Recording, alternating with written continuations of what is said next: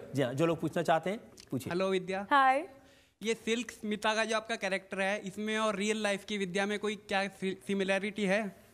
आप मेरी बात सुन ही नहीं रहे हाँ। सिर्फ़ मेरी तरफ़ देख के हंस रहे हैं।